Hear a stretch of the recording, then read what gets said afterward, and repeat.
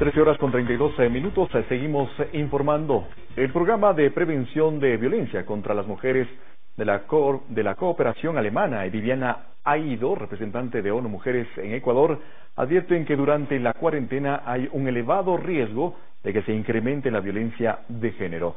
Según la Defensoría Pública, entre el 17 y el 25 de marzo, la entidad atendió en el país 203 casos de violencia intrafamiliar.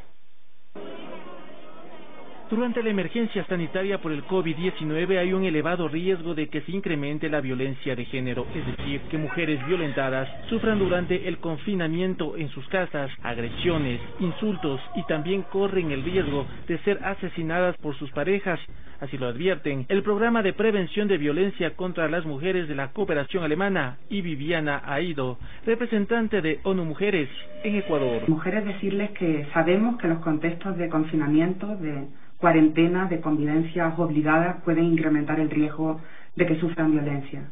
Según la Defensoría Pública, entre el 17 y el 25 de marzo, la entidad atendió en el país 203 casos de violencia intrafamiliar, calificados como flagrantes. Desde Previ Mujer se advierte de la imposibilidad que las mujeres no puedan denunciar este tipo de hechos debido a la cuarentena. Por esta razón, la cifra anteriormente señalada significa incluso una ligera reducción en comparación con las cifras que se genera de manera normal. Ante esta realidad, Viviana ha ido hace tres recomendaciones para que las mujeres puedan mantenerse a salvo y denunciar si se presenta algún tipo de violencia. Una, mantenerse en contacto con las personas queridas, con personas de confianza, a quienes puedan contarles lo que les sucede. Otra, que tengan siempre a mano los teléfonos de auxilio que llamen al 911 si así lo necesitan y por supuesto que alerten a las autoridades en caso de ser necesario.